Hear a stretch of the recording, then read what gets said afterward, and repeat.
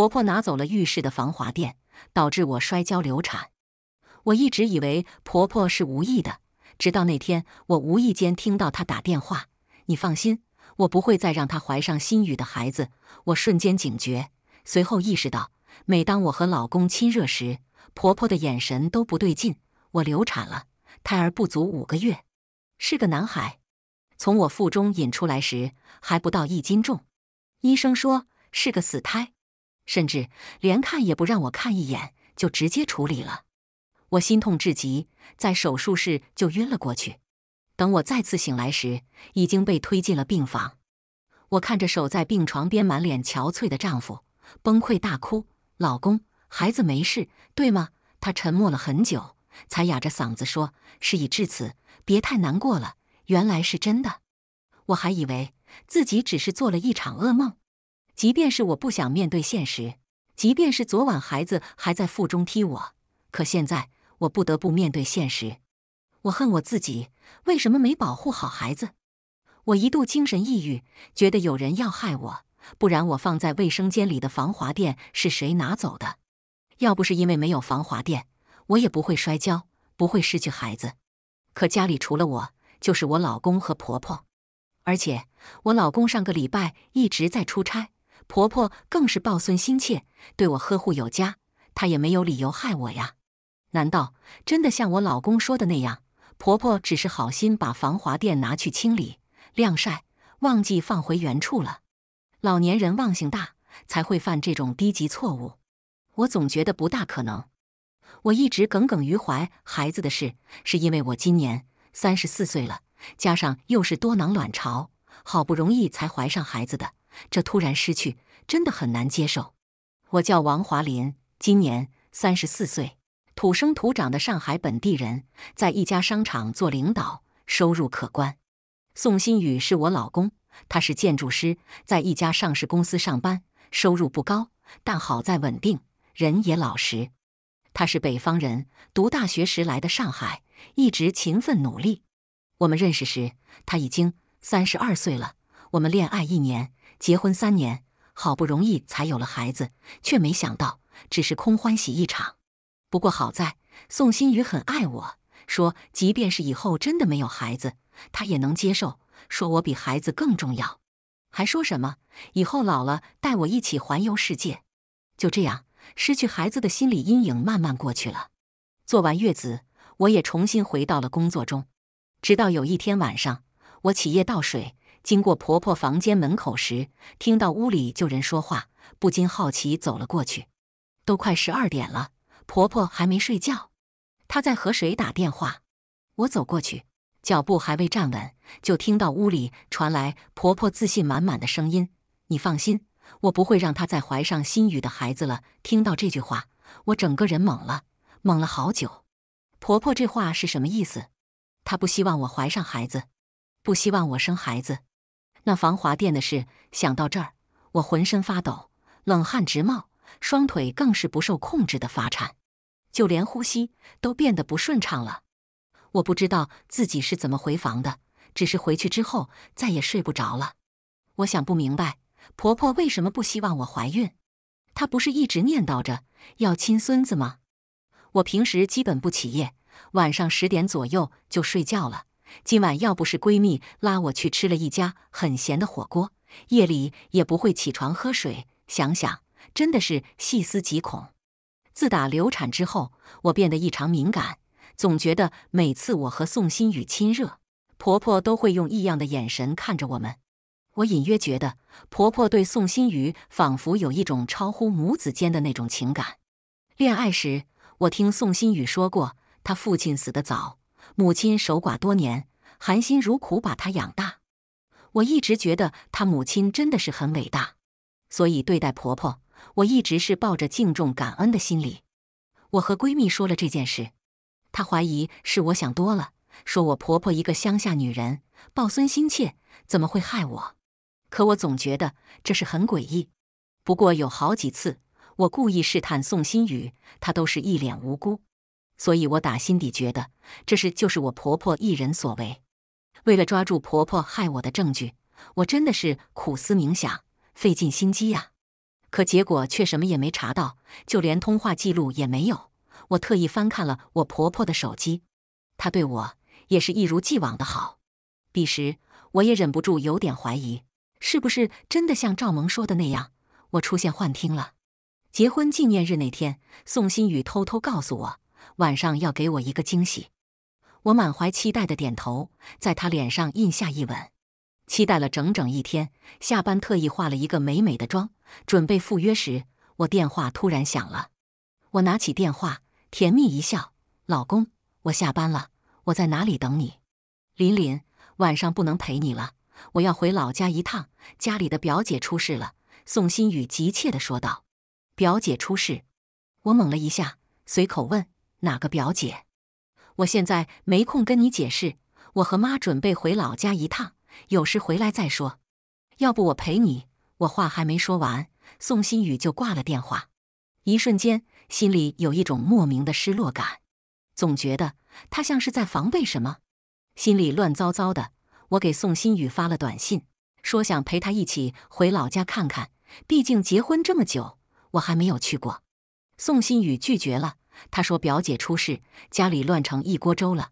我现在去，大家都顾不上我。再加上路途远，我娇生惯养的肯定不行。他这么说，我也只好作罢。只是心里隐隐觉得有些不舒服。她和婆婆究竟想隐瞒我什么？最后是赵萌陪我过的结婚纪念日，我情绪很低落，满脑子都是乱七八糟的事。赵萌提醒我，既然怀疑婆婆有问题，就该好好的调查清楚。我心里明白，有些事是逃避不了的。回到家。我进了婆婆房间，床头柜上放着婆婆和宋新宇的合照。我看着床头柜上的照片，一股寒意从心底涌出。我和宋新宇结婚没多久，婆婆就搬过来和我们一起住了。她的房间我很少进，因为我不爱窥探别人的隐私。在房间里搜了一圈，并没有发现什么。就在我准备离开时，无意中被绊倒，看见床底下有一个老旧的首饰盒。我愣了几秒，伸手掏出首饰盒，仔细打量，一个方方正正的木头盒子，表面上布满了划痕，看得出来应该是年代久远的老物件了。盒子被锁上了，怎么也打不开。越是这样，我就越是好奇，好奇这里面究竟装了什么东西。我开始上网搜寻，找各种办法，不厌其烦地试了很多次，才成功打开了锁。打开盒子，发现里面只放了一张破旧的纸，并没有什么贵重物品。那张纸早已泛黄，破旧不堪。出于好奇，我拿起那张纸看了一眼，整个人瞬间懵了。这是一张结婚证，结婚证上的照片被抠掉了。二零零七年八月二十号，宋新宇、张春华。我看着这些字，双手一抖，盒子连带结婚证一起掉在了地上。霎时间，我脑子一片空白。宋新宇居然结过婚，他在二零零七年就结婚了。反应过来，我手忙脚乱地收拾残局，慌忙逃回房间，躺在床上，我的心久久无法平静，满脑子都是那张结婚证。结婚之前，宋新宇从来没有说过自己结过婚，婆婆也是只字未提。二零零七年，宋新宇刚满。二十岁，他就已经结婚了，和一个叫张春华的女人。他为什么要骗我？我心里又恼又恨，委屈的直掉眼泪。直到这一刻，我才明白为什么宋新宇不肯带我回老家。可就算他想隐瞒自己结过婚的事，也没必要害我腹中的孩子呀。为什么？我想不明白。此时此刻，我敢肯定，卫生间里的防滑垫是婆婆故意拿走的。她的目的就是要害我流产，我心里积满了可怕的怨气，暗暗发誓一定要把所有的事情调查清楚。我的孩子绝不能枉死。我找人在家里装了监控，所有隐蔽的地方我全都装了针眼摄像头。我一定要查清楚他们究竟有什么秘密。一周后，宋新宇和婆婆回来了，我假装若无其事去火车站接他们。然而我做梦也想不到，他们居然带回来一个小男孩，看样子估计有六七岁了。小男孩被我婆婆搂在怀里，宋新宇拎着行李，三人从车站里挤出来。我看着小男孩，愣了一下。这是宋新宇看了一眼婆婆，向我解释：“这是我表姐的儿子东东。”东东躲在婆婆身后，怯生生地看着我。我满脸疑惑，心想：他们回一趟老家，怎么带个孩子来？婆婆似乎看出了我的疑惑，开口解释：“琳琳，这孩子命苦，他妈妈刚刚去世，我和新宇看他实在可怜，就把他领回来了。”婆婆搂着东东，满眼宠爱。我愣了几秒。看向宋新宇，正准备问他这孩子的父亲在哪里，谁知宋新宇突然说：“坐了一天车，好累，先回家吧。”宋新宇说完，头也不回的走了。婆婆见状，也拉着东东走了，边走边说：“东东，别怕，我们回家了。”我看着三人和谐的背影，顿感莫名其妙。低头发现行李箱没人拿，感情我是来当佣人的呗。压下满腔怒火，我提起行李箱，费劲的挤入人群中，心里别提有多郁闷了。一路上气氛凝重，婆婆搂着东东坐在后面，宋新宇靠在副驾驶座睡觉。我扶着方向盘，时不时抬头瞄一眼后视镜中的小男孩，他很乖，一路上都没有吵闹。这张眉清目秀的脸，好像一个人。我看着身旁睡着的宋新宇，觉得他们还有几分像。记得四年前我第一次见到的宋新宇也是这么羞涩。婆婆瞧见了，就板起脸孔：“琳琳，你好好开车。东东不是外人，不是外人。”这次婆婆回来看我的眼神都怪怪的，说话也没有之前和气了。我只是透过车里的镜子望了几眼孩子，她就发这么脾气，我心里顿时不舒服。本想对她两句，想想算了，回家再说。开口说道：“妈。”东东没有其他亲人了吗？他爸爸呢？在我们家住倒是没有关系，我只是担心他的亲人会担心。婆婆没有说话，车子一路回到了小区停车场。宋新宇也醒了，他径直下了车，完全不管后面的婆婆和东东。说完，我扭头看了一眼婆婆，婆婆脸上浮现一抹怒气。我停好车，和婆婆、东东一起上了电梯。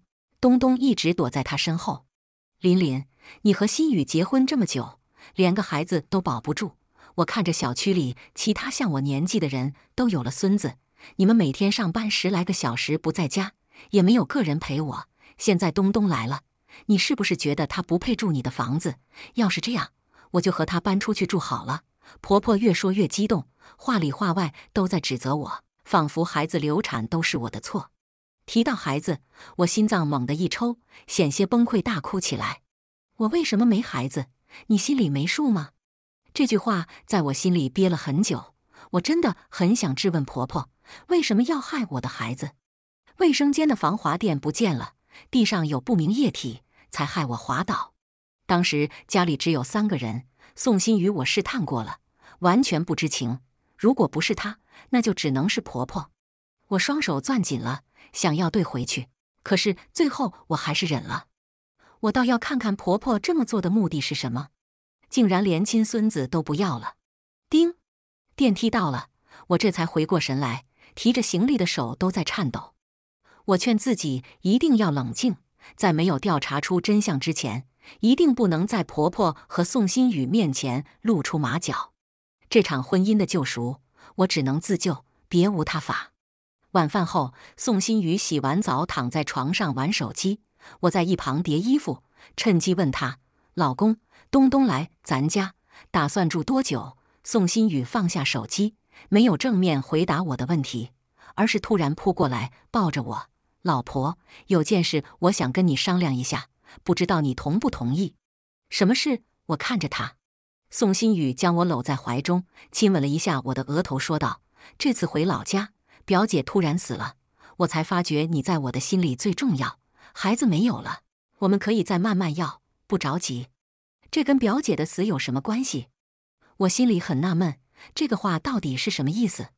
我没有说话，想听到下一步想说什么。果然，他接着说道：“我和妈商量了一下，想把东东过继到我名下。他现在无父无母，只有我这么一个亲人了。我内心深处的第一反应是拒绝。”我虽然流产了，但我才三十多岁，又不是不能生了。他这么着急领养别人的孩子，有何意图？联想到最近发生的事，我假装镇定地看着宋新宇，试探他：“你想领养东东？可他这么大了，是不是不太合适啊？六七岁的小孩子，基本上什么都懂了。”我倒不是对东东有什么意见，只是搞不懂宋新宇母子俩葫芦里卖的什么药，怎么不合适？我跟你说，东东跟我也算有点血缘关系，我是他舅舅，算是有血缘关系的。宋新宇直接扯上了血缘关系上，我冷笑了，表亲而已，又不是亲舅舅，算什么血缘关系？不过他的话倒是提醒了我，东东的爸爸呢？林林，其实东东是我表姐非婚生子。她没有老公，东东一出生就没有爸爸，他还这么小，总不能送孤儿院吧？我就想着，我们的孩子不是没有了吗？正好收养了他。好，我同意了，不过只是为了让我婆婆安心罢了。我的心里可是十二万分的不愿意。宋新宇激动地抱着我，猛亲我，嘴里不断说着谢谢。随后，宋新宇起身去了婆婆房间。我打开手机视频，监视着他们的一举一动。婆婆房间，她坐在床边，轻轻拍着睡着的东东。宋新宇站在床边，跟她说：“我同意东东住家里了，算他识相。否则，我要他好看。”婆婆好像变了一个人，面相凶狠，满眼杀气。我被吓了一跳，连忙坐直身体。你最近安分点，其他的事等东东上了户口再说。宋新宇警告婆婆。安分点！婆婆突然站起来，瞪着宋新宇：“怎么，你舍不得他了？无理取闹！”宋新宇丢下一句话，扭头就走。婆婆像是受了很大的打击，发了疯似的狂砸东西。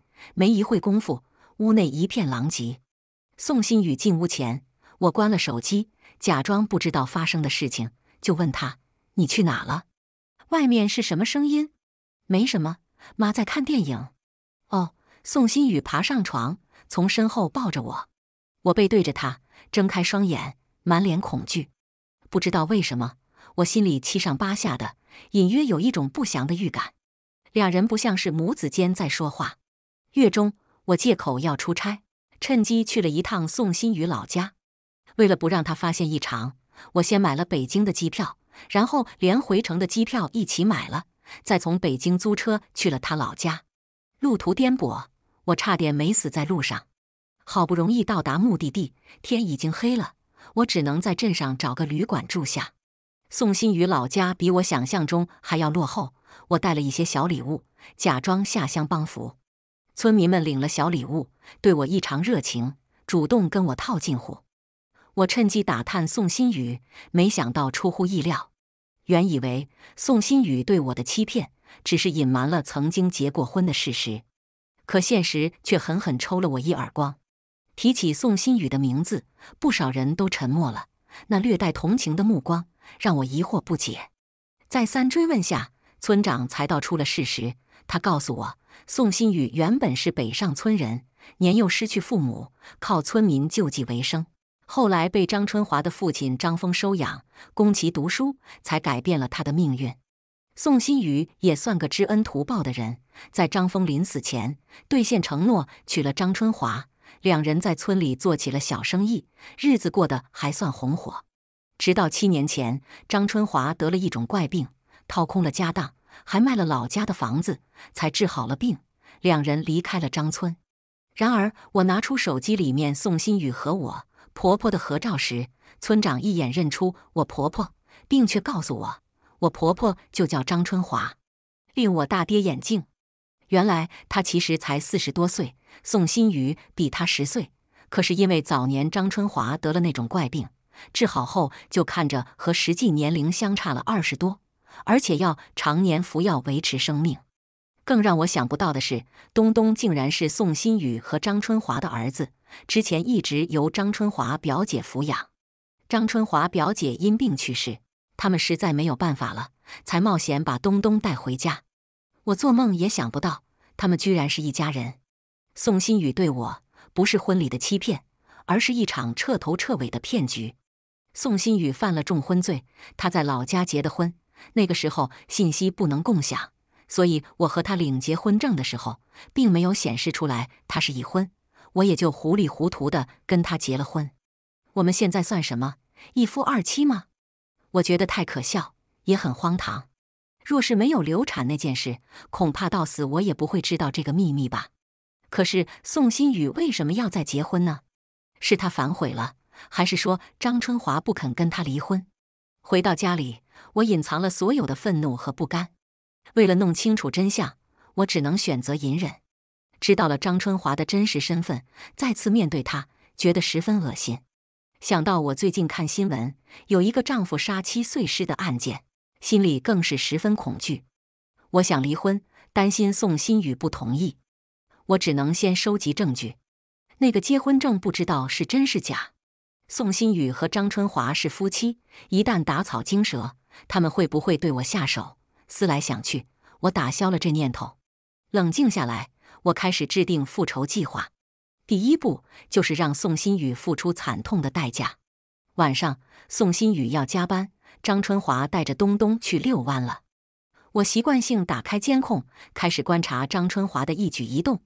最近几天，他总喜欢在客厅徘徊，拖地、擦桌子的时候，他都会抬头看一眼天花板的水晶吊灯。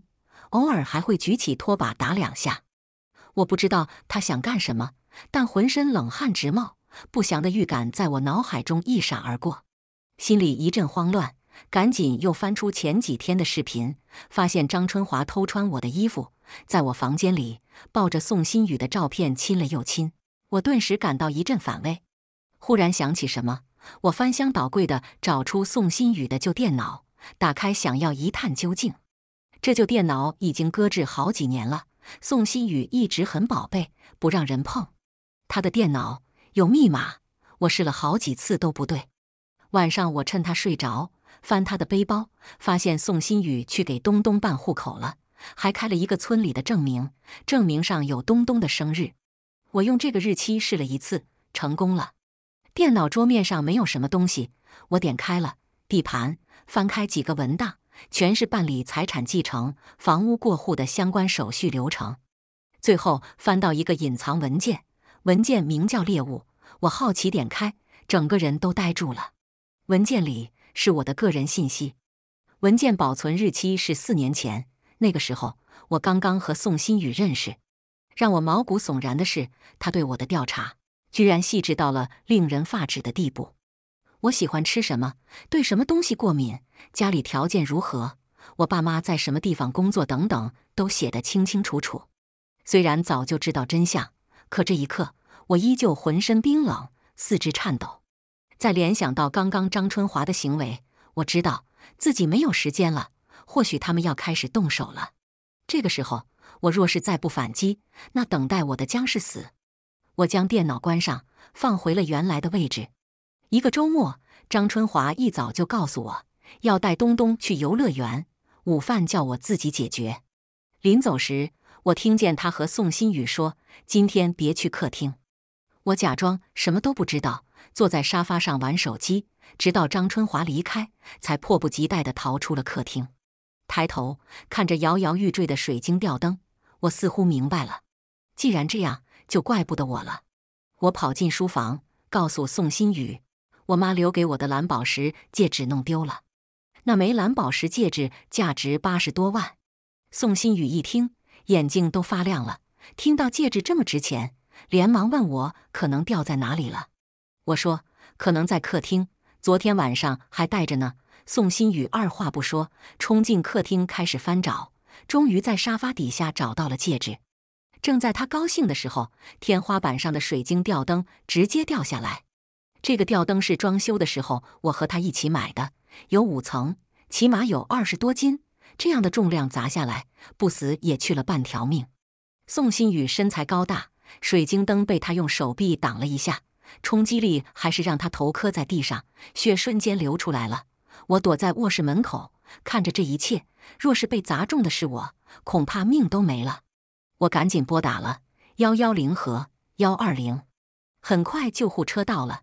将宋新宇抬上了车，警察到了之后，询问我到底发生了什么事情。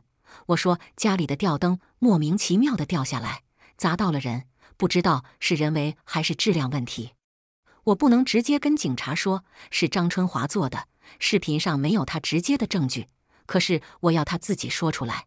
随后我打电话给张春华，说宋新宇受伤，被送去了医院。张春华马不停蹄地赶来医院，骂我是扫把星，怎么照顾丈夫的？当着医生和护士面，我还是叫他妈。叫完自己都全身起鸡皮疙瘩。这个女人也只是比我大十几岁而已。我装作无辜的样子说道：“妈，我也吓坏了。我当时在卧室找东西，就听见外面的巨响，出来一看，水晶灯掉下来了。你说，好好的水晶灯怎么会掉呢？我怎么知道？”张春华白了我一眼后，怒吼道：“我心想，张春华现在肯定懊悔死了，苦心设计的阴谋没有伤到我分毫，反而让宋新宇进了医院。那一刻，肉眼可见的憎恨。”在张春华眼中闪过，我假装落下几滴伤心的眼泪。宋新宇看着张春华，眼中满是愤怒，一副哑巴吃黄连，有苦吐不出的样子。我借口去了医生办公室，回来时在门口听到宋新宇说：“你搞这些小动作，差一点害死我。最近给我安分些，我自有计划。如果琳琳发现了，我们就死定了。”张春华哭着问宋新宇，说自己本来计划的好好的，也提醒他不要去客厅的，可是没有想到会出这种事情，还再三保证以后不会了。宋新宇还告诉张春华，最近朋友找他合伙投资，需要八十万，他手里没有钱，需要我签字抵押现在的房子，拿到钱就跟我摊牌，到时候是我每个月还贷款，他就可以找一个机会跟我离婚，说我生不了孩子。我站在门外，勾唇一笑。一对狗男女真的是好计谋。若不是我提早发现，还真会傻兮兮的听信宋新宇的甜言蜜语，将母亲留给我的房子去换钱，给这个狼心狗肺的男人去做生意。不过他们都没有想到，那个答应和宋新宇做生意的人是我找的。一周前，我找到宋新宇的同学张谦，他因为赌博欠下了一屁股的债，还失业。老婆离婚，带着孩子走了。我答应给他五万，条件是要他帮我，具体做什么都要听我的，反正就是不会让他做犯法的事情。没想到他一口就答应了，果然验证了那句话：有钱能使鬼推磨。为了让宋新宇和张春华产生矛盾，我开始慢慢制造宋新宇出轨的证据。宋新宇最近经常说出差，或是夜不归宿。每次回家都喝得烂醉如泥，给了我机会。我在他口袋里放用过的口红、尺码小的性感内衣和酒店住宿发票，然后故意让张春华洗衣服的时候发现了这些东西。女人的疑心有时候就是很可怕的。有一次，他脖子上还有口红印，当然也是我故意留下的。他们的矛盾越来越多，宋新宇十分厌烦，警告张春华不要再管他的事。为了激发矛盾，我设了一个局。那天晚上，我给宋新宇喝了一杯掺了安眠药的牛奶。等他睡着之后，再播放提前录好的音频，内容是我用变声器模仿他的声音打电话。为了制造不在场的证据，我告诉张春华，闺蜜有事情找我，要出去一趟。等我出去了，张春华肯定趴在门上偷听。然后宋新宇的声音传出来：“你放心。”等我拿到一百万，马上带你远走高飞，宝贝，你相信我，钱一到手，我们马上订机票去美国。我爱你，亲一个。接下来那几天，张春华魂不守舍的，对谁都拉着一张脸。这些宋新宇根本不知道。我给张谦发消息，要他催宋新宇尽快拿出来钱。晚上，宋新宇回到家，洗完澡就想和我过夫妻生活。被我用身体还没有恢复为理由拒绝了。他虽然不高兴，可是还是没有发作，而是安慰我说：“不要紧，我的身体要紧，他可以忍一忍。”于是问我：“林林，你手里还有多少钱存款？”我假装什么都不知道，回道：“二十万吧。”怎么就这么点钱了？宋新宇脸色大变。前段时间炒股被套进去了。我叹了一口气说道：“林林。”我现在的工作钱太少了，想辞职。现在我们家是四口人了，以后说不定要变成五个人，房子也小了，有朋友拉我做生意，我想着赚了钱就买个大房子。宋新宇一脸诚恳地说道：“我好笑。他一个建筑师画图纸的，从来没有做过生意，野心倒是不小。和谁呀？”我故意问道。“你别问了，说了你也不认识。我大学同学，他现在做出口贸易，听说很赚钱。现在他想扩大经营，问我有没有兴趣。你也知道我英语不错，贸易赚得多。”是你大学同学，那应该是可靠的人。我相信你。需要多少钱？我继续问道。一百万吧，少了股份就少，赚的就少。林林，相信我，我一定能让你住上那种大别墅，过富太太的生活。宋新宇开始给我洗脑，给我画大饼，别提多认真了。我闷着笑，看着他滑稽的样子，我配合的点点头。可是我现在只有二十万。也拿不出那么多呀，老婆，我是想你把现在我们住的这个房子抵押了。我去中介打听过了，这个房子值一百五十万，抵押一百万没有一点问题。只是这个房子的名字是你，需要签一个委托书，委托我全权办理。老婆，我求求你，为了我们的将来过上好日子。宋新宇从来没有说话这么温柔过，简直让我刮目相看。有人不要脸。可以到这种地步，我也是醉了。我笑了笑，不行，这个房子是我妈留给我的嫁妆，万一抵押出去了，没有钱还怎么办？到时候我们大房子没有住上，连这个房子都没有了，岂不是很不划算？宋新宇一听，脸色就不好看了。琳琳，我们是夫妻呀，你还不相信我？我好歹也是名牌大学毕业的吧，经济头脑还是有的。宋新宇继续央求我。我故意看着他，过了十分钟才说道：“要我同意也可以，不过我有个条件。什么条件？只要你答应抵押房子，怎么样都行。”宋新宇果然上钩了。我看着他眼神中那种强烈的贪婪眼神，要婆婆和东东回老家。我的话就是说给门外张春华听的。宋新宇听完后点犹豫，问我为什么要这么做。我骗他说自己想再要一个孩子。婆婆回去后，我们才好过夫妻生活。我们有东东了，他也是我们的孩子啊！我懒得再应付了，扔下一句：“反正缺钱的是你，你想想吧。”我累了，先睡觉了。随后我不再理会他，翻身背对着他，可是我的眼睛一直没有闭上。几分钟后，宋新宇下了床，他直接出去了。我断定是跟张春华商量去了。他现在一门心思都在想着怎么拿到钱。我打开了手机监控视频，看到宋新宇进入了张春华的房间，开始商量让张春华回老家的事情。我不，你是不是爱上那个贱蹄子了？你别忘记了，我们可是结过婚的。要是你想撇开我，我就去告诉警察你重婚罪，看到时候你坐牢，他会不会花钱救你？张春华发了狠话，神经病。你上次弄坏了客厅的吊灯，差一点砸死我。我上次没有跟警察说，是因为王华林在。你惹毛了我，我一样跟警察说。故意伤害罪比重婚罪可严重多了。你想想吧。宋希宇威胁完，又放软了语气。上次我们不是说好的吗？那个蠢女人答应抵押房子，换了一百万，我就带你和东东一起去国外治病。你这个病只有国外可以治疗。我在单位上班，收到了一个快递文件，是我一周之前做的 DNA 亲子鉴定。现在检测报告出来了，鉴定证实东东确实是宋新宇亲生儿子。一连七天，宋新宇都因为单位有事情很晚回家。我每次乘着他睡着，故意用变声器模仿他的声音打电话，都是一样的内容：带另一个女人去国外。终于，张春华坐不住了，他去外面打听怎么样可以贷到钱。可是他一没有工作，二又不是本地户口，名下没有任何资产，正规渠道是不可能贷款给他的。于是他看到了小区楼道小广告，那种私人借贷公司，也就是高利贷。他不清楚这种高利贷利息有多离谱，就找借贷公司糊里糊涂的签了字。他倒是有一点聪明，去做了一个假房产证。把我的房子换成了他的名字，然后给了私人借贷公司。我暗中跟踪他，知晓了这一切。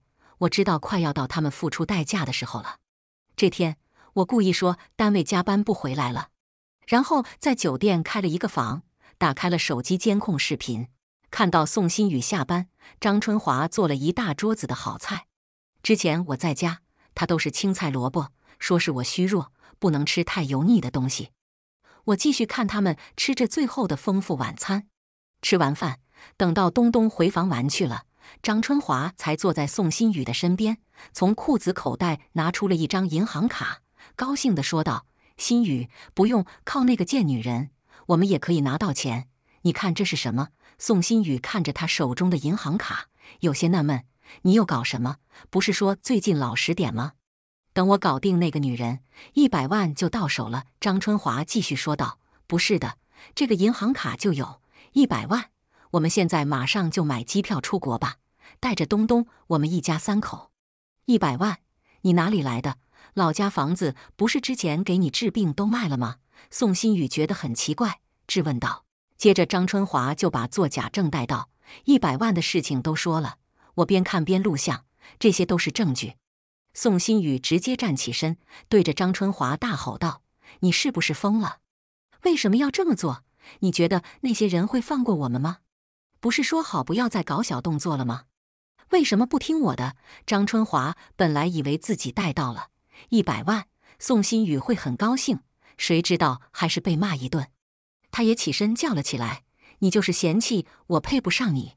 我看着比你老，出去都以为我是你妈，对不对？你早就想离开我了，你这个白眼狼！当年要不是我爸，你还能考上名牌大学，还在这个大城市大公司上班吗？”你别忘记，你答应过我爸什么？张春华哭闹着开始撕扯宋新宇的衣服，俩人扭打在一起，也惊动了房间的东东。他走出来，害怕的看到他们俩人。宋新宇一把推到了张春华，抱起了东东，回了房间，并重重的关上了门。张春华开始砸东西，客厅一片狼藉。我开始进行下一步，给那家私人借贷公司的经理打了电话。告诉他们，张春华给的房产证是假的。随后我关机，扔了电话卡。孩子没了以后，我每天晚上做噩梦，梦见孩子向我走来，问我：“妈妈，为什么你不要我？”可是今天却没有，我睡得很好。第二天是周末，我十点才回到家，看到家里一切如常。我还是挺佩服张春华的，这么短的时间收拾这么干净。宋新宇坐在客厅。看到我回来了，就高兴的起身走过来，给我拿拖鞋，取下我身上的包包，挂在门后。林玲，你回来了。对了，我妈答应带着东东回老家了。那我们什么时候去办理抵押？我朋友催我了，说要我赶紧拿钱，不然就给别人了。我却没有大话。我想了想，还是算了。做生意有风险，何况还是国际贸易。疫情之后，整个环境都不好。而且我刚刚听到一个消息，我单位要裁员了。你要是辞职创业的话，家里这么多人吃饭，还有日常开销怎么办呢？宋新宇拉着我坐在客厅，正要继续劝我，大门外有人敲门，他不情愿的起身。我妈也是，领着东东去买菜，又忘记带钥匙，烦死了。当他打开门，却看到四五名壮汉走了进来。我笑了笑，看来那个私人借贷公司效率很高嘛。这么快就来了，宋新宇一脸茫然。你们是谁？是不是走错房子了？其中一个男人却一把将宋新宇扒拉开了。谁是这里的户主？该我登场了。我拉了拉衣服，站起身，走了过去。是我。你叫什么？王华林。不对，这个房子的户主应该叫张春华呀。你看看这个房本上写着呢。男人将房本递给我，这是假的。我可以给你们看真的。我从背包中拿出了一个红色的产权证，递给了其中一个男子。我认识他，上次我偷偷跟着张春华，就是这个男人接待的，自称是经理。我昨天也是给他打的电话。男人仔细看了看，拿出了手机拍照，才递还给我。张春华呢？这个经理询问。他不在。我慢条斯理收拾好了我的证件，起身。你们慢慢聊。不过这个房子是我的，要打人的话，注意别弄坏了我的家具和装修。说完，我无视宋新宇求助的眼神，径直出了门。我的心情愉悦极了。我去了闺蜜家，说了整件事情。闺蜜说我太大胆了，怎么能一个人对付宋这些人呢？万一出什么事情怎么办？其实我也害怕过，可是想想我那个未出世就被人害死的孩子，我就充满了无所畏惧的力量。晚上八点，我接到了警察打来的电话，要我去辖区派出所一趟。闺蜜开着车，我们一起去了派出所。我一进去询问，才知道有人报警说有人打架。警察问我宋新宇是不是我丈夫，我说是。警察说宋新宇和一个年纪很大的女人被一群男人暴打，被人看到了报了警，现在被送到医院了。问我他是不是得罪了什么人。我告诉警察，其实那个年纪很大的女人是宋新宇的另一个老婆。我把张春华发黄的结婚证和自己的结婚证递给了警察，还把张春华做假证骗贷款的事讲述了一遍。警察觉得是一个大案子，就请我进去做了一份详细的笔录。做完笔录，我就回家了，不过留下了一个 U 盘和一份亲子鉴定报告。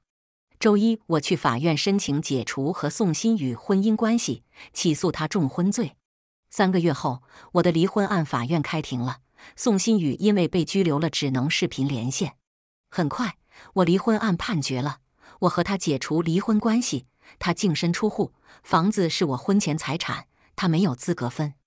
宋新宇因为重婚罪和诈骗罪被判了十年，张春华因为诈骗罪和杀人未遂罪判了二十年。东东被送去了孤儿院，因为他的双亲都坐牢了，老家也没有其他的亲戚。半年后，监狱给我打了电话，说宋新宇要见我。他头发被剃平了，人也苍老了许多，眼眶都凹进去了，看来憔悴极了。琳琳，是我对不起你，我错了，我也对不起我们的孩子，你能原谅我吗？说完，他呜呜的哭起来了。我只是淡淡说了一句：“你不配。”我卖掉了那套房子，正好单位有一个去外省开分公司的业务，就报了名。我一点也不同情宋新宇，只觉得人在做，天在看，多行不义必自毙。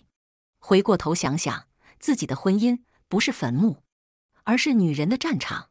以后的每一天，我会时刻提醒自己，不堪的过去是一段抹不去的伤痛。